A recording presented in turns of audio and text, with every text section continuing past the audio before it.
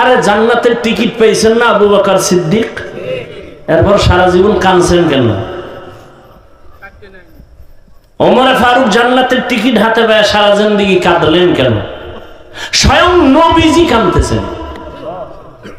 আম্মা জানা এসে বলেন, নবী, আপনি কাঁদেন কেন? হাসরের ময়দানের ভয় আমার অন্তরে লাগছে জন্য কাঁদি বলে, কেই ভয়? আপনার তো কোনো গুণা নাই। আপনি কাঁদেন কেন? আমার উম্মতের কি উপায় হবে জন্য কাঁদি। এমন ভয়ঙ্কর হালাত হবে কেয়ামতের ময়দানে যে নবীদের গুণা নাই, তারা পর্যন্ত কান্না করবেন নারী আর পুরুষ উলঙ্গ দাঁড়াবে। ওই কঠিন সময় উম্মতেরা পাগলের মতো দৌড়াবে একদিকে সূর্যের গরম অপর দিকে জাহান নামের আগুনের গরম অপর দিকে আমার আল্লাহ পাখের রাগান্বিত আওয়াজ লিমানিল মুলকুল ইয়াউম? হাসরের ময়দানটা থর থর করে কাঁপা শুরু হয়ে যাবে, এমন কঠিন হালাত। নবীরা পর্যন্ত উন্নতের চিন্তা বাদ দিয়া নিজের চিন্তায় কান্না করবেন আমার কি উপায় হবে? আদম নবী কাঁদবেন, আমার কি উপায় হবে? ঈসা নবী কাঁদবেন আমার কি উপায় হবে? মুসা নবী কান্না করবেন আমার উপায় কি হবে? আম্মা জান আয়সা বলেন, নবী, আপনি কি করবেন? নবীজি বলেন, আয়েশা, তখন আমি মাওলার দরবারে কুদরতি কদমের সামনে, আমি মাকামে মাহমুদের সেজদায় পরে আমি কান্না করব, একবারও বলব না, আল্লাহ আমার কি উপায় হবে? আমি কান্না করে একটা আওয়াজ দিব, আল্লাহ আমার উম্মতের বাঁচাও, আমার কি উপায় হবে? আমার উম্মত যেন জাহান্নাম ধরতে না পারে, ধরলে আমার পালাবার কোন রাস্তা খুঁজে পাবে না। জাহান্নাম বড় ভয়ঙ্কর। জাহান্নামের ফিরাও আমার উম্মত যেন জাহান্নামে না যায়। আম্মা বলেন, নবী তখন কি হবে? বলে, আল্লাহ তখন বলবেন, নবী মাথা উঁচু করেন, কাঁদবেন না। আমি আপনাকে কাঁদাবো না, দুনিয়াতে কম কাদাই নেই রে নবী। দুনিয়াতে পাঠাইছিলাম, বাবার চেহারাটাও দেখতে পারেন নাই। ছয় বছরে আপনার মাকে নিয়ে গেছি, আপনি এখন এতিম আবার অসহায়। দুনিয়াতে আপনাকে কম কাঁদানো হয় নাই। তিনটা বছর শিয়াবে আবু তালিবের মধ্যে আপনাকে আপনার বংশের লোকেরা গৃহবন্দী করে রাখছে। পানির লাইনও বন্ধ, খানাও বন্ধ। নবী, আমি তাকাইয়া দেখছি, আপনি গাছের পাতা ছিঁড়ে ছিঁড়ে তারপরে চাবাইয়া খাইয়া পেটের ক্ষুদা নিবারণ করছেন। আপনার উপরে এত অত্যাচার, দান দান শহীদ করলেন। ডানে বামে সব আপনার দুশ্মন। আমি আল্লাহ পাক আজকে আপনাকে আর কাঁদাবো না। মাথা উঁচু করেন, কি চান বলেন আমি দিয়ে দেই। আমার সব উম্মত আমি জান্নাতে চাই। আল্লাহ কয়, নবী যান, আপনি সব উম্মতগুলো আপনার উম্মত বাছাই করে করে জান্নাতের দিকে নিয়ে যান। আম্মাজান বলেন, তখন আপনি কি করবেন? নবী বলে, আমি তখন একটা একটা ধৈরা জান্নাতের পথে নিয়ে হাউজে কাউসারের পার্শ্বে দাঁড় করাবো। করাই আমি নবী নিজের হাতে কাউসারের পানি পান করাবো। আম্মা জানা এসে বলেন, কোটি কোটি কোটি কোটি কোটি কোটি মানুষ, মুসা নবীর উম্মত, ঈসা নবীর উম্মত, ইব্রাহিম নবীর উম্মত, সব মানুষের মধ্যে আপনার উম্মত কেমনে চিনবেন? আম্মা জানের জবাবে নবী বলেন আয়েশা আমার উম্মত যারা দুনিয়াতে পাঁচ বেলার নামাজ অজু বানাইয়া আদায় করত, কেয়ামতের দিন আমার উম্মতের অজুর জায়গাগুলো নূরের আলোতে ঝলমল করতে থাকবে। আর আমি ধরে ধরে জান্নাতের পথে নিয়ে কাউসারের পানি পান করাবো, এক পেয়ালা পান করানো মাত্র আর কখনো পিপাসা লাগবে না। আমি নবী নিজের হাতে কাউসারের পানি পান করাবো, আল্লাহ আমাদের জন্য কবুল করে নেন। নবী লাইনে দাঁড় করায় উম্মত গুলোরে পানি পান করাবেন। হঠাৎ মাঝখানে একটা পর্দা পড়ে যাবে, নবী বলবেন ফেরেস্তা উম্মত শেষ? কয়, না, এখন আছে পর্দা। কেন? কয় আপনার খাতি উম্মত না। এই উম্মতগুলো দাবি করতো আপনার উম্মত কিন্তু দাড়ি রাখে নাই, পর্দা করে নাই, হালাল খায় নাই, নিজেও পর্দা করে নাই, অন্য পর্দা করতো তাও পছন্দ করে নাই, নিজেও নামাজ পড়ে না, অন্য নামাজ পড়তো তাও পছন্দ করে নাই, নিজেও জিকির করে না, অন্য জিকির করতো তাও পছন্দ করে নাই, নিজেও পাগড়ি পরে না, অন্য পাগড়ি পড়তো তাও পছন্দ করে নাই, নিজেও হালাল খায় না, অন্য হালাল খাইতো তাও পছন্দ করে নাই। আম্মা জানা এসা বলেন, এই শুনে আপনি কি করবেন? নবী বলেন, তখন আমি রাগান্বিত হয়ে যাব। আমি বলব, সোহকান ইমান গাইয়ার আমি বাদি ওরে দূর হইয়া যা নিম খারাম উম্মত। আমি তোদের নবী না, তোরা আমার উম্মত না। যখন নবী বলিয়া তারায় দিবে, হঠাৎ গাইবে আওয়াজ আসবে, আল্লাহ বলবেন, ও ফেরেশতা, এদের জাহান্নামের শিকল লাগাইয়া বাঁধো। ওয়াসিকাল্লাযীনা কাফারু ইলা জাহান্নামা জুমারা। জাহান্নামের শিকল লাগাইয়া আর জাহান্নামের দরজায় না হবে, জাহান্নামের দারওয়ান ফেরেশতারা বলবে, আলাম ইয়াতিকুম রাসূলুম মিনকুম ইয়াতলুনা আলাইকুম আয়াত?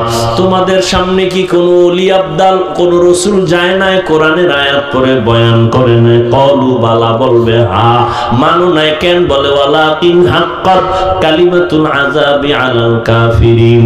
কি হবে আফসোস করে? আসুন আমার মাওলার ওয়াদাই তো সত্য। আজকে কুফুরি করার কারণে আল্লাহর হুকুম অমান্য করার কারণে আজাবে গ্রেফতার হয়ে গেল।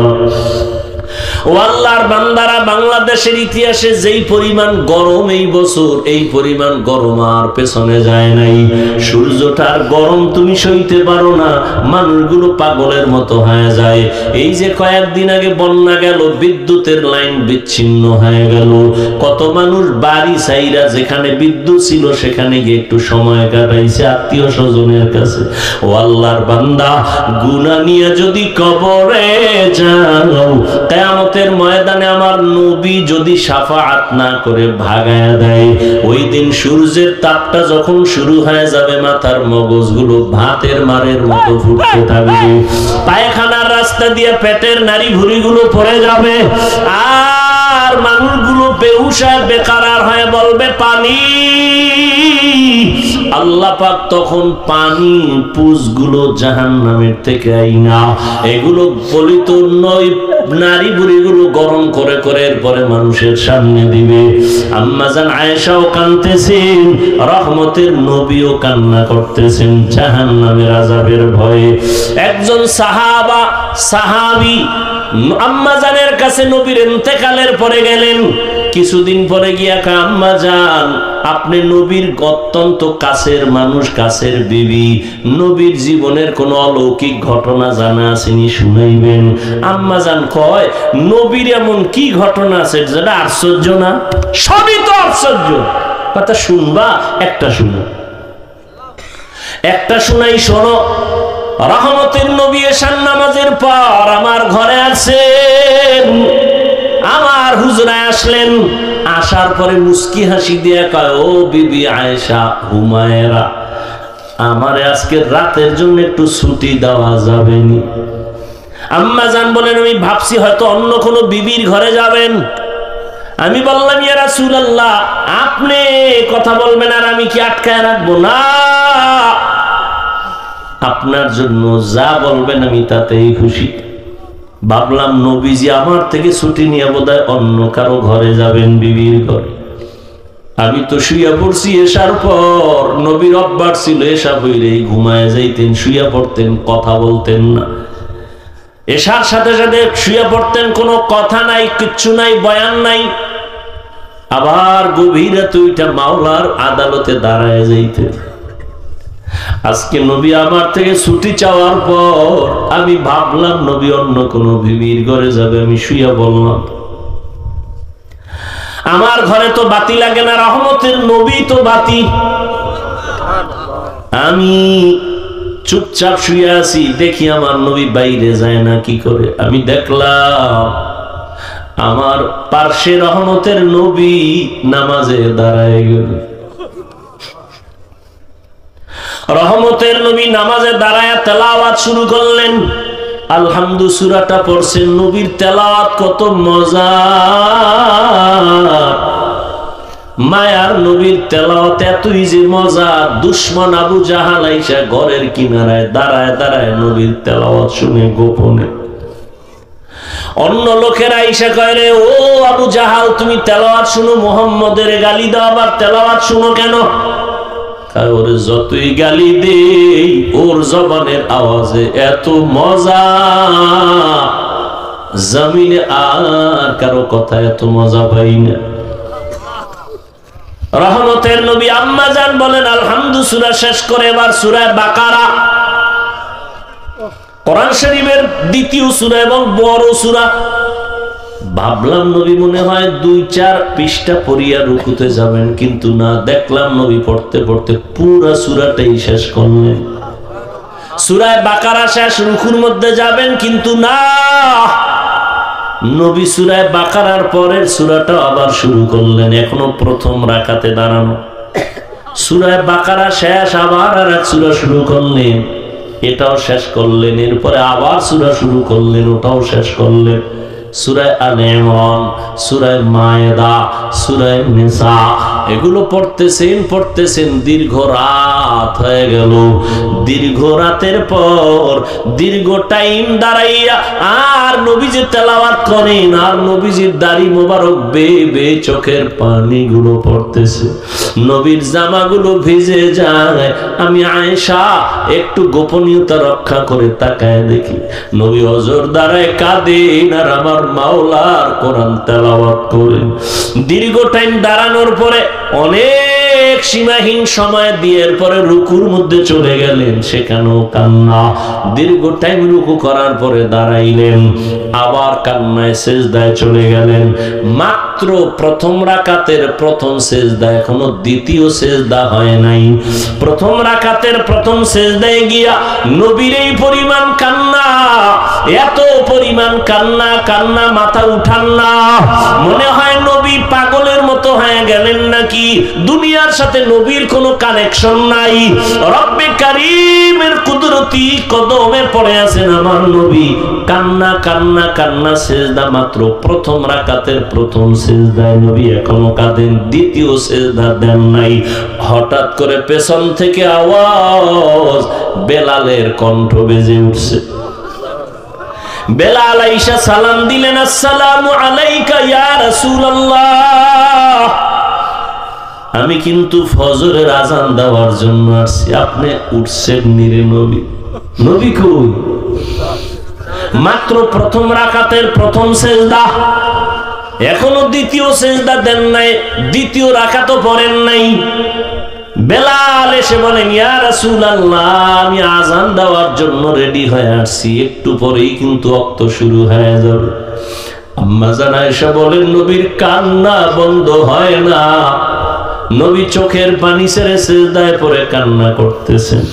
বেলাল আওয়াজ দিছে, এই ফজরের টাইম হওয়ার আগ পর্যন্ত নবী সেজদায় পড়ে আছে ও সাহাবায়ে কেরাম নবীর আশ্চর্য ঘটনা, নবী এত কাঁদলেন কেন?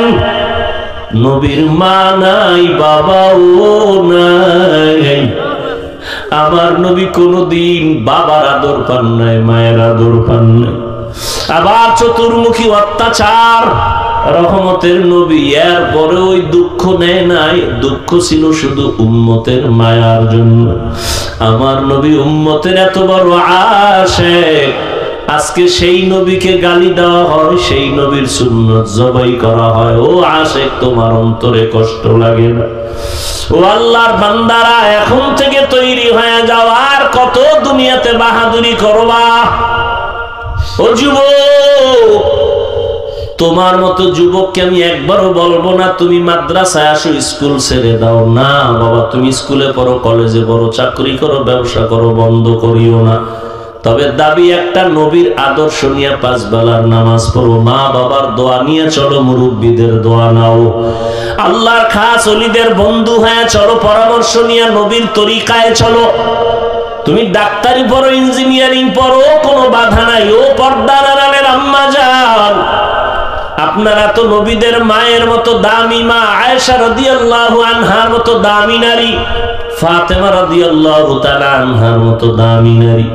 এরে আম্মা যান দুনিয়াতে সন্তান অনেকে কান্না করিয়াও পায় না। আল্লাহ আপনাকে দিছেন, পারলেন নাকি মানুষ বানাইতে, নবীর আদর্শওয়ালা বানাতে? আপনি ডাক্তার বানাবেন, বেয়াদব বানাবেন না, আপনার ডাক্তার সন্তানটাও যেন নবীর আদর্শ নিয়ে নামাজ পড়ে মা বাবার খেদমত করে, মুরব্বীদের দোয়া নিয়ে চলে। পরামর্শ নিয়ে চলে, নবীর তরিকা মানিয়া চলে। এমন একটা সন্তানকে ডাক্তার বানাবেন, ইঞ্জিনিয়ার বানাবেন, কপাল আপনার ধন্য। এরে আম্মা যান, পেছনে পারেন না, এখন তওবা করেন। আপনার মতো কত মা এখনও আছে, নামাজ ছাড়ে না, বেপরদায় চলে না, স্বামীর মাল নষ্ট করে না। আপনার মতো বুড়া বাবাজির, আপনার মতো কত মুরব্বী আছে মসজিদ গিয়া নামাজ পড়ে এক বেলার নামাজ ছাড়েন আপনি কেন পারবেন না? ও যুবক তোমার মতো যুবক এখনও দেখবা তাকায় জীবনে কোনোদিন মাদ্রাসায় পড়ে নাই। স্কুলে পড়ে, কলেজে পড়ে, চাকরি করে, ব্যবসা করে, RAB army, police, BDR, doctor, engineer, professor, OC DC SP chairman, member, MP, মন্ত্রী, পাঁচ অক্ত নামাজ পড়ে, মা বাবার দোয়া নিয়ে চলে, তুমি কেন পারবা না? তোমার মতো যুবক রাস্তায় গাড়ি চালায়, নামাজ সারে না, কৃষি কাজ করে, নামাজ বাদ দেয় না, তুমি কেন পারবা না? আসলে তোমার উপরে মা বাবার বুঝি বরদোয়া লেগে গেল, গুনার কারণে বুঝি আল্লাহ বেজার হয়ে গেল। কয়দিন আর যৌবনের বাহাদুরি করবা? এখনও সময় আছে, তওবা করে নেও। জীবন চলে গেল আর নামাজ সারবা না, দাড়ি কাটবা না, বেপর্দায় চলবা না, মা বাবারে কষ্ট দিবা না, ওলামায়ে কেরামের বিরোধিতা করবা না, নবীর তরিকা মানিয়া চলবা। তওবা করার মতো যদি অন্তর তৈরি হয়, মুনাফিকি যদি না থাকে, খাঁটি তওবার নিয়ত যাদের আছে, দুটো হাত আমার আল্লাহকে দেখায় দাও।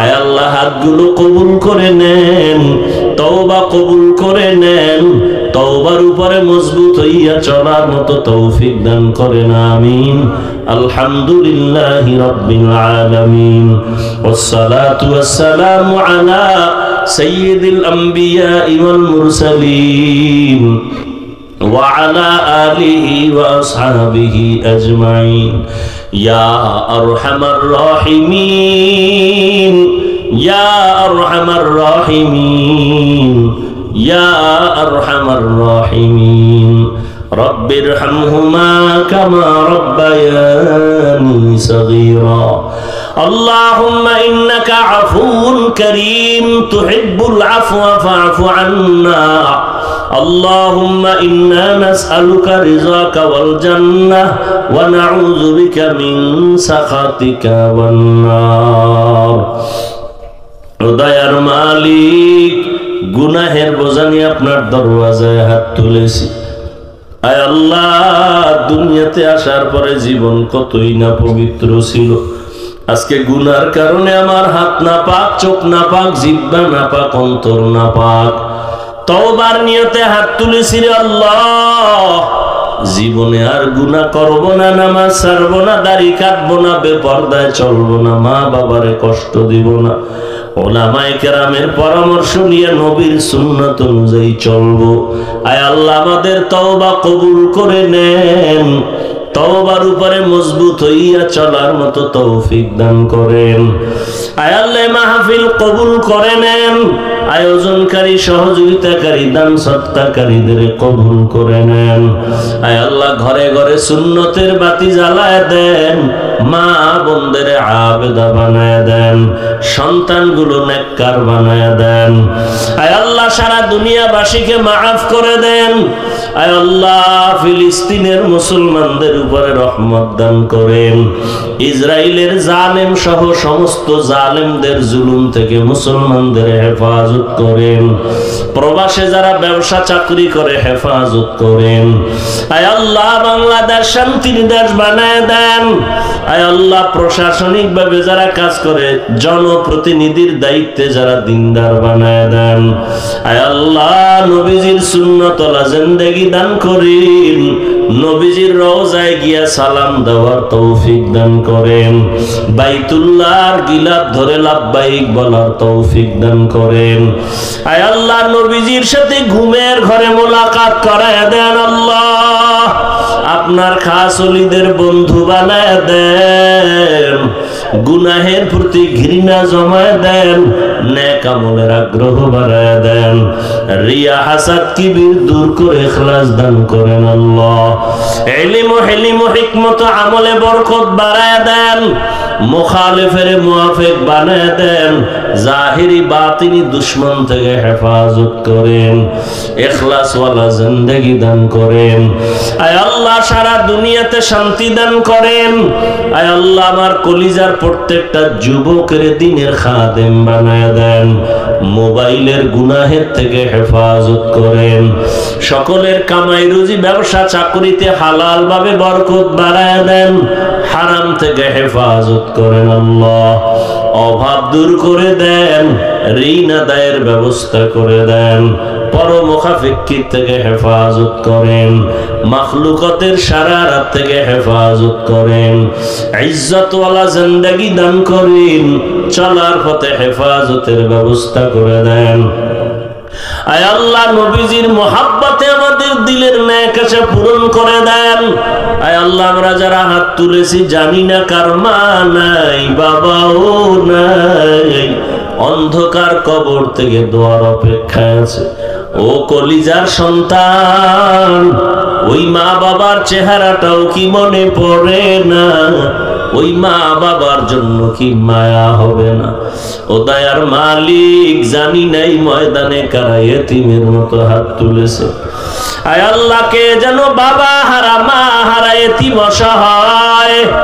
মোনাজাতের পরে ঘরে গিয়া অনেকে বাবার চেহারা দেখবে, মাকে মা বলে ডাকবে। আর যারা এতিম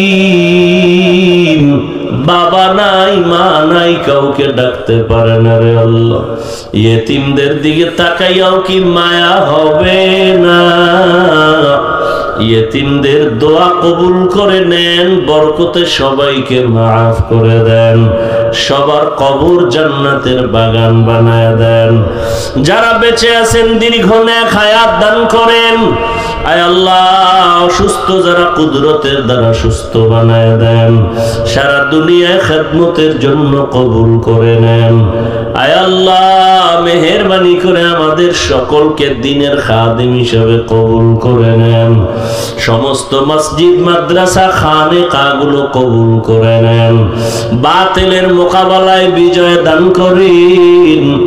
ইমান ও আমলের শক্তি বাড়ায় দেন। আদবওয়ালা বিনয়ী জিন্দেগি দান করেন। নবীজির মোহাব্বতে আমাদের দোয়া মোনাজাত কবুল করে নেন। সাল্লাল্লাহু তাআলা আলা খাইরি খালকিহি মুহাম্মাদ ওয়া আলিহি ওয়া আসহাবিহি আজমাইন। আমিন আমিন আমিন। برحمتك يا أرحم الراحمين.